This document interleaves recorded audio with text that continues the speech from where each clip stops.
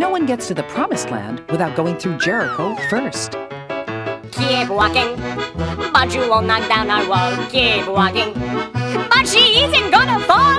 It's plain to see your brains are very small. To sing walking, we'll be knocking down our wall. Joshua and the children of Israel have God's directions, but should they follow them?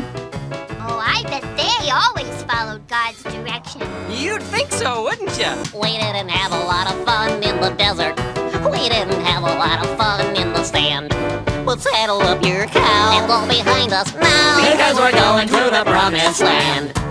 Find out if they made the right choice in Josh and the Big Wall.